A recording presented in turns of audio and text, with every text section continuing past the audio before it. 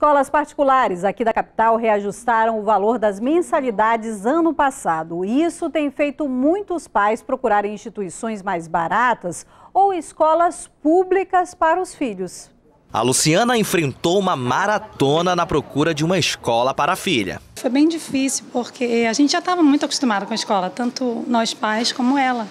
Entendeu? Eles sempre trataram a gente com muito carinho, muita atenção. Para ela, a situação é mais complicada, porque a filha tem paralisia cerebral. Pesquisou bastante antes de mudar de escola. Antes disso, a gente conversou com pais que tinham filhos nessa escola. É, vimos o, a questão do, da qualidade mesmo do ensino, metodologia, tudo, e a gente achou maravilhoso, tão bom quanto a outra. As mudanças estão mais frequentes.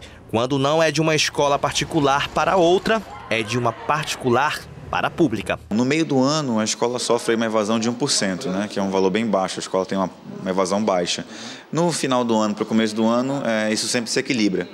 Segundo o Sindicato dos Estabelecimentos de Ensino Privados do Amazonas, cerca de 68 instituições aumentaram o valor das mensalidades em 8% no ano passado. E isso fez com que muita gente migrasse para a rede pública. Esse movimento ele tem acontecido pela questão da, da, da perda de, de, de, de condições financeiras das pessoas, perda do emprego, é, é, perda da remuneração. Algumas até oferecem descontos. Nesta aqui, por exemplo, o aluno do terceiro ano do ensino médio vai pagar 900 reais por mês. Mas se ele morar próximo à escola, o valor cai para 720 reais. Ah, aos alunos que moram num raio de 5 quilômetros aqui da escola, eles têm um desconto é, para estudar aqui na instituição, né? Aqui na capital não existe um padrão de valores estabelecido para a mensalidade depende muito do que a escola tem a oferecer: infraestrutura, laboratórios e localização.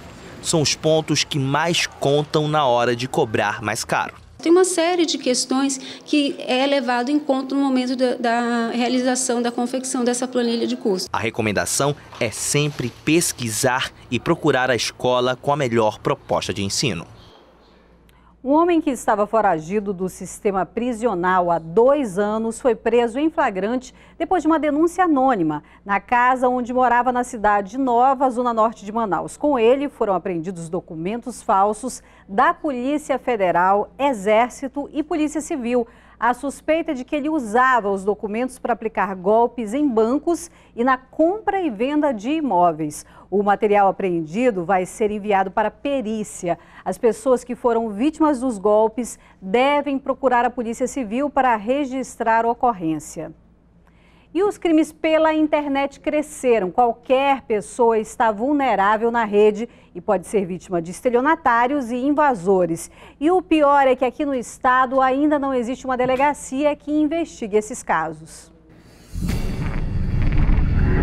Uma foto na internet e uma vida devastada. Uma conversa íntima, comentários preconceituosos, difamação podem destruir o convívio social de uma pessoa. O desembargador Jorge Manuel Lopes Lins, vice-presidente do Tribunal de Justiça, foi vítima depois de um vídeo íntimo parar nas redes sociais. O criminoso age contra qualquer pessoa, autoridades, gente comum, anônimos e celebridades. A atriz Carolina Dickman também teve a vida invadida com o vazamento de fotos nuas. Esse episódio deu origem à Lei 12.737, que diz invadir dispositivo informático alheio pode dar de três meses a um ano de prisão. Navegar pela internet é entrar num mundo obscuro você nunca sabe de fato quem está do outro lado da tela. E este local tem sido cada vez mais usado pelos criminosos. Segundo a Secretaria de Segurança Pública daqui do estado, em 2016 foram registrados 959 crimes cibernéticos.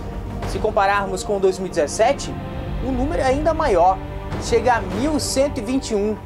Portanto, são 162 casos a mais deste tipo de crime. A Polícia Civil não tem uma delegacia especializada em crimes virtuais aqui no Amazonas. A falta dessa estrutura é um agravante, apesar de que os crimes podem ser registrados em qualquer delegacia, segundo a polícia.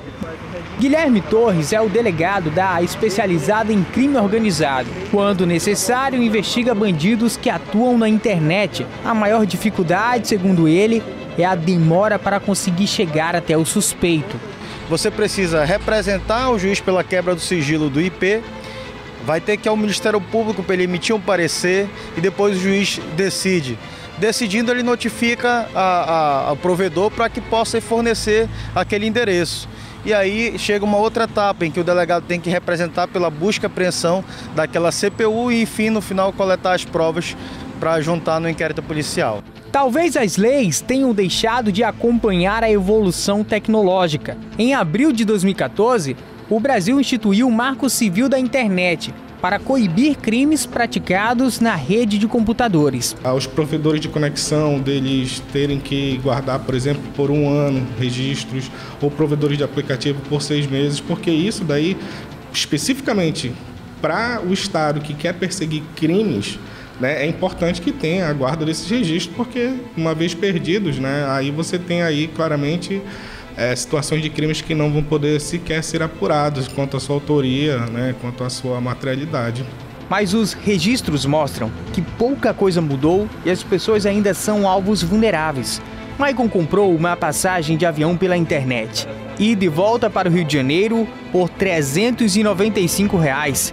Ele foi enganado. Depositou o valor numa conta bancária passada pelos estelionatários, mas nunca recebeu o bilhete para viajar eu não desconfiei, fiquei assim muito animado pelo valor. Então acabou que eu corri atrás e digo não.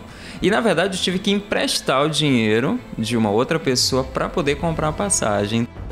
O resultado, a viagem foi cancelada e o estudante ficou no prejuízo. Para ele, ficou a lição. E a lição que ficou é que eu tenho, é, todos nós temos que nos preocupar antes de fazer qualquer compra pela internet.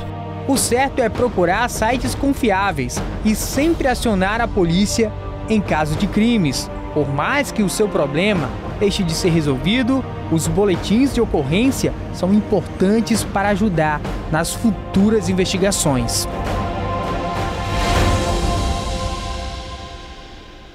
Todo cuidado é pouco, né? O Jornal em Tempo volta amanhã às 17h15. Até lá.